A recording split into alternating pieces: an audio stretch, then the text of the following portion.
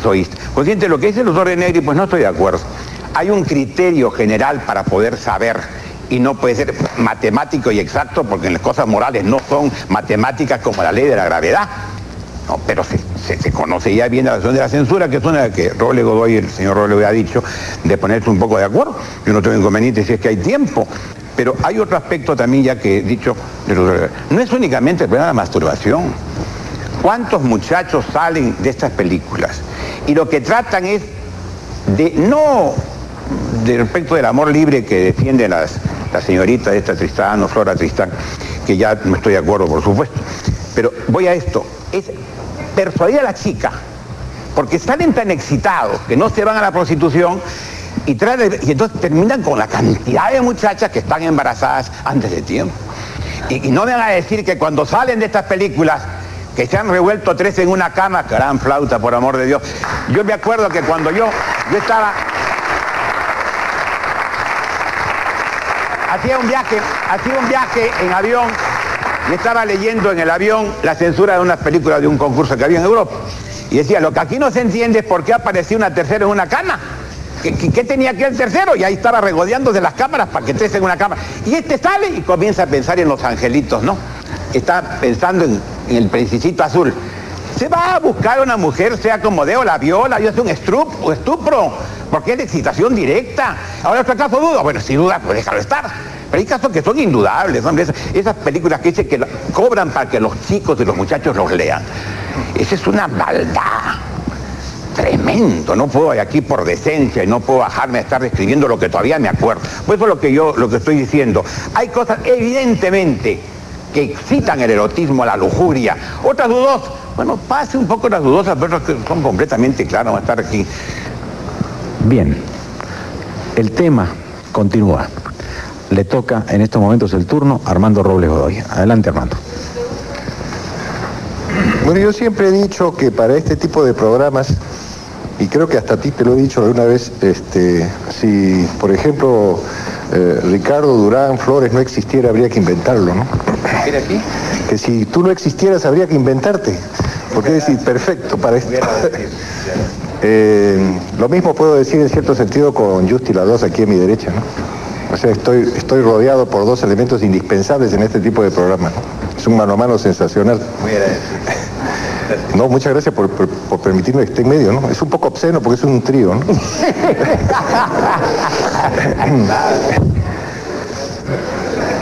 Yo creo que eh, en todo esto hay una cortina de humo que es precisamente la pornografía.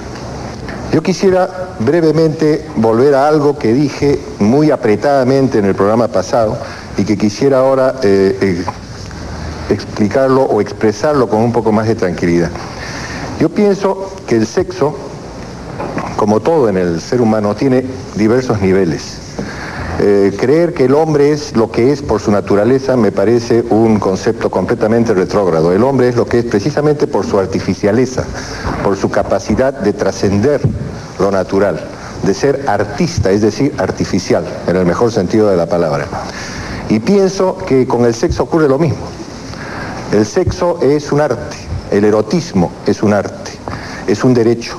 El placer es una de las eh, facultades de las, yo diría, recompensas más positivas y más eh, increíblemente maravillosas que nos ha dado quien sea que nos ha creado. Yo creo que nosotros debemos luchar por reconquistar el derecho al placer. Digo que la pornografía es una cortina de humo porque la pornografía disfraza el hecho de que lo que en realidad está en el banquillo de los acusados, cada vez que se discute de este tema es el sexo y el erotismo.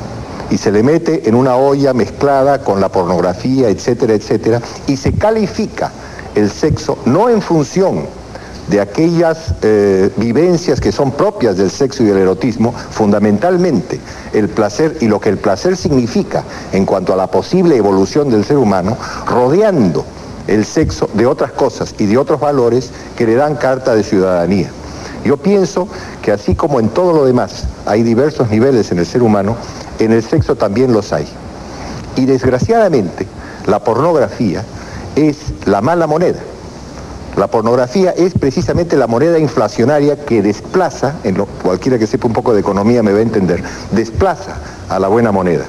Si hubiera una educación sexual, pero no, no, no, no, no, sexualería, un término que, que, yo inventé para explicar lo que se llama educación sexual, que no es educación sexual, sino sexualería. Si hubiera efectivamente una educación sexual pragmática, un ejercicio del erotismo, un desarrollo del arte del erotismo, la pornografía no cabe. La pornografía sale por la ventana.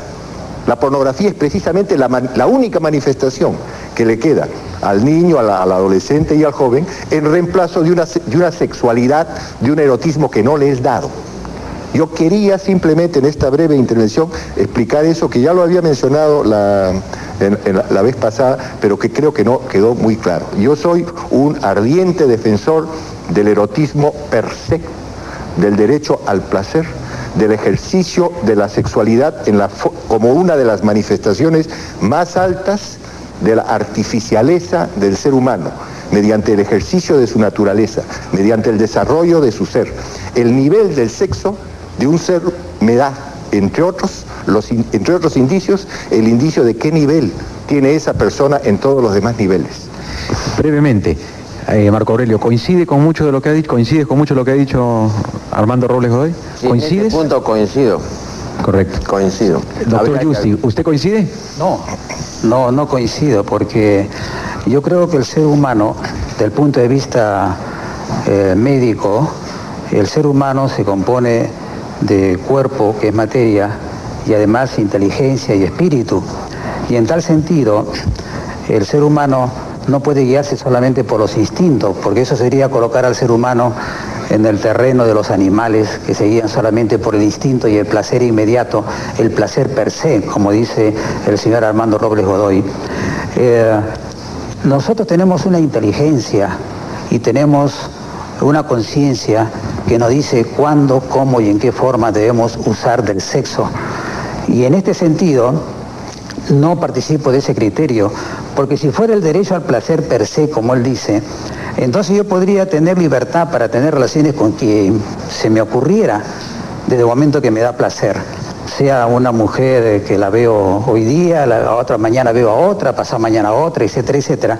Y en consecuencia estaría pues atentando contra lo que debe ser lo fundamental, que es la familia.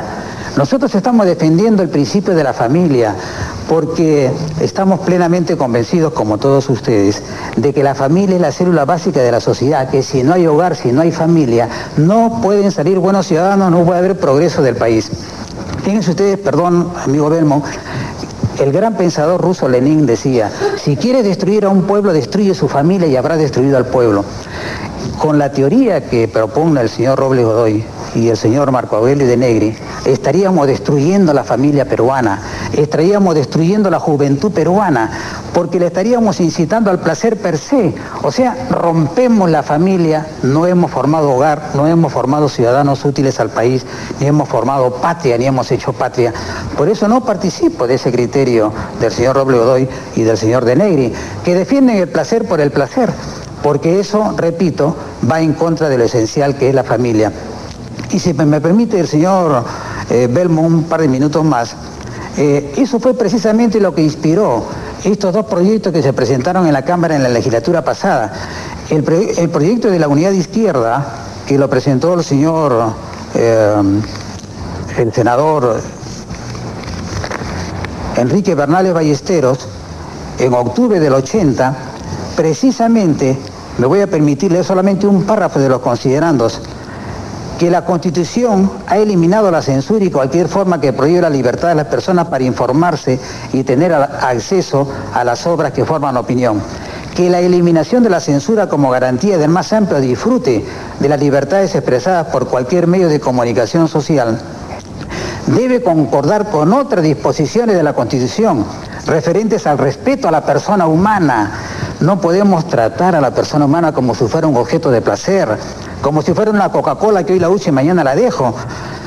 La protección de la familia, célula básica de la sociedad, y la protección del niño, así como con la obligación del Estado y los particulares de educar, promover la cultura, proteger la salud y fomentar la recreación, por todos estos considerando y otros más, él concluía en este proyecto de ley, repito, presentado exactamente en el año 1980, en la legislatura pasada, el 27 de octubre, concluía de que debía eliminarse la pornografía en todas las salas de espectáculos.